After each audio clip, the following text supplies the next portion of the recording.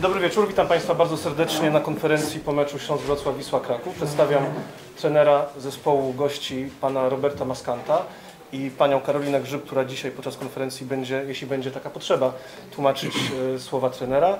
I na początek, panie trenerze, poproszę kilka słów pomyczowego komentarza. It's time for you, coach. Okay. Well, I can be very, uh, very short about the game. I think this was the proof that uh, the better team in football doesn't always win.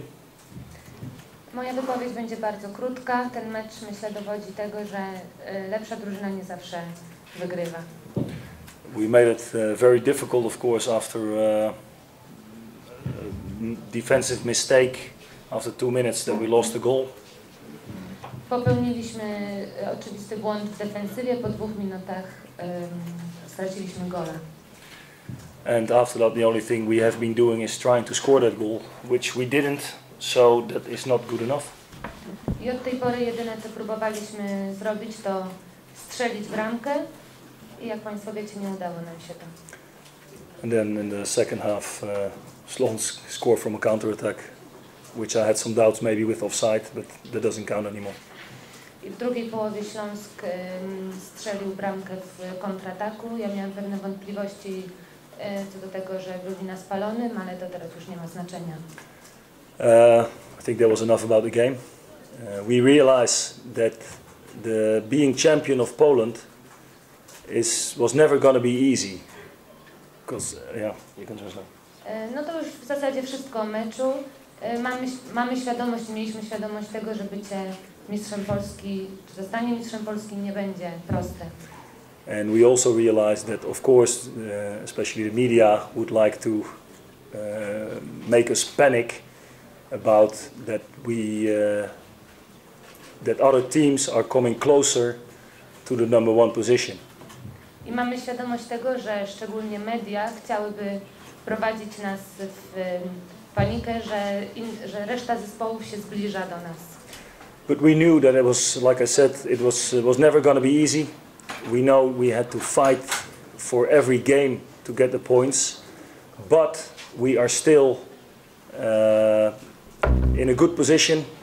We have still three points more, plus a better goal difference, plus the game ag- against Jagiellonia for us, which means that uh, this was a wake-up call after uh, a long series of very good matches.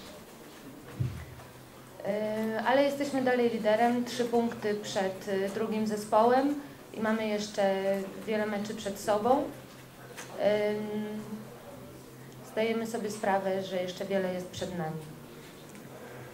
Uh, so that means that we lost today uh, this game, which uh, I think we weren't uh, we weren't very lucky and we didn't show enough quality with scoring goals.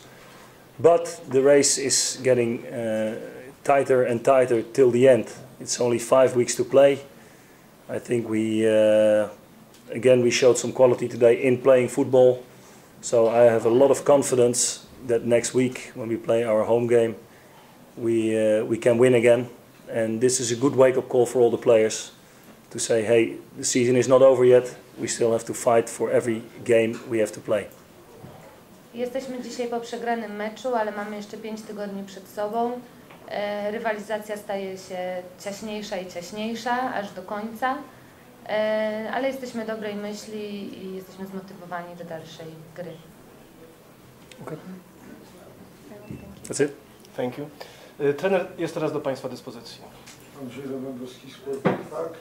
Panie trenerze, można się było spodziewać, że Śląsk tak będzie grał, czyli będzie się bronił i wyprowadzał kontry. Czy w takim razie przegrywając 0-1 do przerwy, jakoś uczulał e, Pan swój zespół na to, że uważajcie na te kontrataki Śląska, czy też po prostu powiedział mi Pan atakujcie do przodu, musimy wyrównać? It was obvious that the Shansk uh, would play this way, that we would rather stay in defense than try to counterattack. Before the game, did you try to talk to your players to tell, hey, be careful for the Shansk defense and for counterattacks, or you, didn't really realize that? No, of course. I mean, uh, we knew that Slons was going to play this way. They did also in our stadium. And we haven't given away that many chances. Uh, I think Slonsk played three times on the counter attack, which was very dangerous and looked also very dangerous.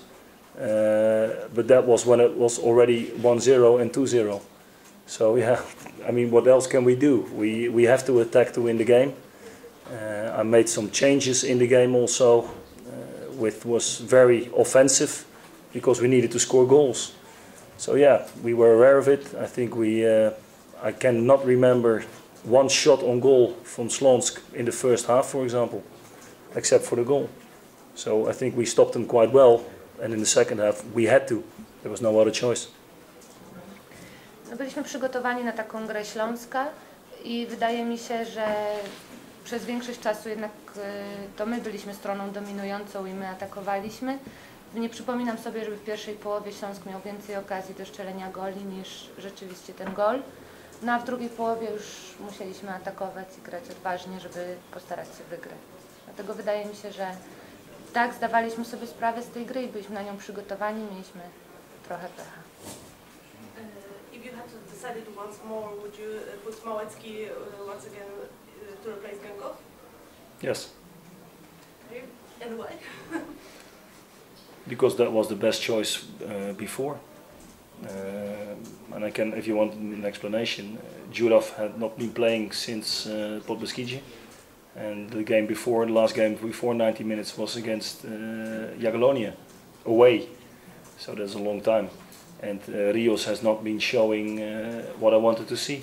So Maui was the obvious choice. And well,